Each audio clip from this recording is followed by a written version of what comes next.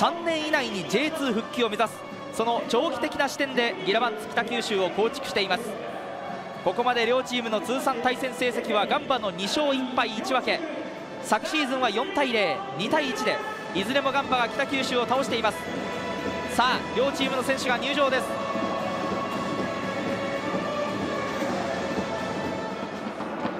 非常に寒い今日のこのパナソニックスタジアム吹田で熱い戦いが行われます。さあそれではスターティングメンバーです。一方のギラバンツ北九州のスターティングメンバーです。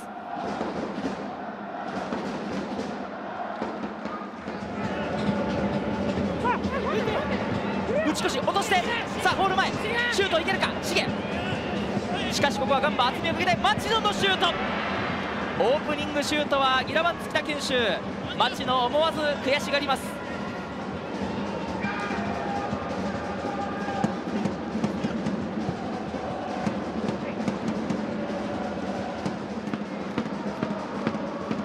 町野にも少し離した。さあどうするか。左手を上げた。新井がその町野を使う。町野の奥だ。シュートが決まった先制はギラバンツ北九州！6番の岡村和也。フリーキックからこのこぼれ球。胸でトラップして右足振り抜いて。ギラバンツ北九州。今日も先制点を挙げました。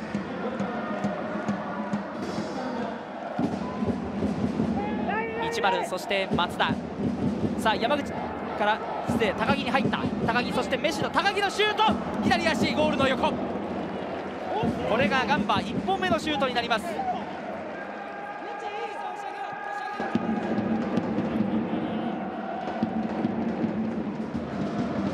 そして26番打ち越。し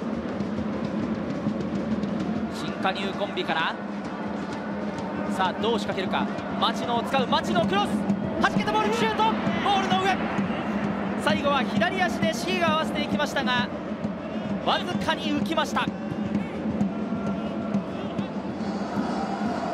まあ、昨シーズンこの U23 を開幕から指揮していましたあここはチャンスになるか。山口のシュート弾いた。高橋なんとか左手で防ぎました。決まれば J 初ゴールという山口でしたが。そして町野中を見る。町野ワンツー。町野左足。ゴールの上。前半は右足でシュートを打った町野この後半は左足でシュートを打っていきました。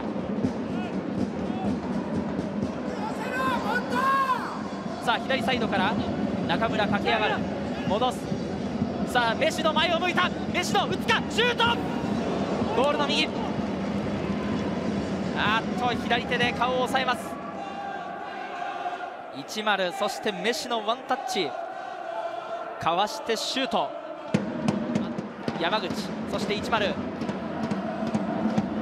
中村が仕掛ける。中村かわしてシュートに行く。弾いた。その後福田のシュート。これも当たった。もう一度高い右足。さあ残っているぞ。もう一回もう一度中村。これはうまくミートしない。ガンバが3度4度とチャンスを作りましたが守ったのは北九州。6番岡村体を張りました。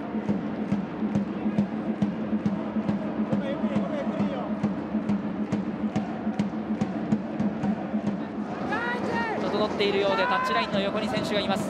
さあここはガンバ奪った。高木。高木が剥がせるか。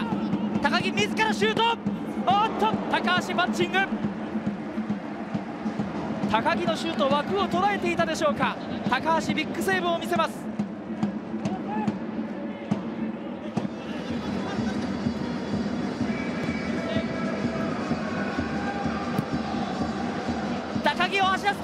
らせて高木シュート。あーっと。クロスバーに当たった。地面を叩いて悔しがる高木。いやいいシーンになりましたが得点生まれません。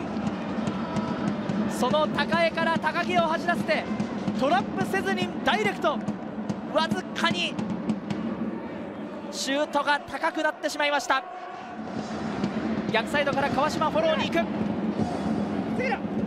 クロスを上げる中央野田ヘディング。26番の内越しどうするか？クロスが上がって町野ヘディング。正面。悔しがる町野高木この位置。中盤あっと北九州にボールを奪われたところで長い笛。ギラバンツ北九州。これでクラブ史上初の開幕3連勝。ガンバは今シーズン初めての負けとなりました。第3節。いまだ今シーズン無失点の北九州。去年から生まれ変わった姿をサポーターの前で見せました北九州です。